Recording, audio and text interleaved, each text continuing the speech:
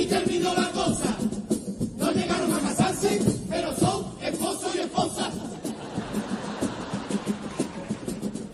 Voy yo junto a Juan y al Marisará. O esa relación desde